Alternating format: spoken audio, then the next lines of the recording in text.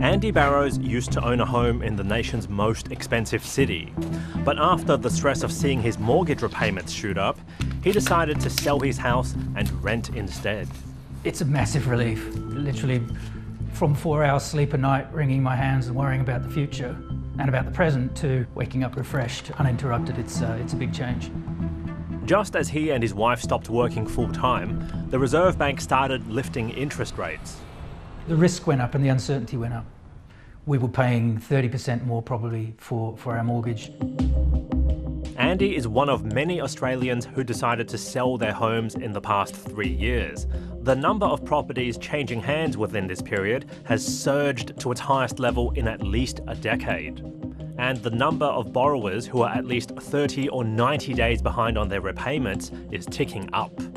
We have about three in a thousand customers in hardships. We know from our own data that the people who have home loans actually tend to, to be better off. So I think um, in some ways people talk about a two-speed economy. Um, definitely we see some arrears, but really that's not quite reflecting the true amount of financial stress in the community. That's because people tend to struggle with other bills before they miss their mortgage repayments. People are falling behind on council rates, utility bills like their electricity, gas and water bills telephone bills, other debts like credit cards and personal loans. But what they don't realise is that falling behind on your other debts can also put your property at risk of repossession. Home loans specialist Richard Whitten has done some research into how Australians are coping with higher mortgage repayments. His team at the comparison website Finder surveyed more than 1,000 people, and about one in five have switched to making interest only repayments in the past couple of years. It makes your repayments lower in the short term, but in the long term, it does increase your interest costs uh, quite a lot. I think that will certainly the case in Australia.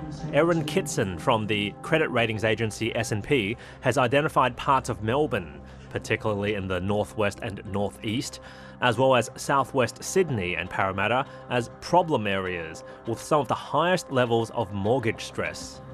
That probably reflects uh, greater household leverage and differential between income versus property prices given the expensive price tag in these cities. Certainly, I think we will see further increases in mortgage arrears, but also what happens with unemployment is probably even more important. We forecast it to increase modestly, and that will have a, a downstream impact on mortgage arrears. Most borrowers on fixed rate loans have already transitioned to much higher variable rates. Many of them have been able to escape the worst of the mortgage cliff by selling their homes before they fall too far behind on their repayments. So that's why mortgage defaults have been quite low. A booming property market has also helped people, like Andy, get out of their home loans without too much trouble.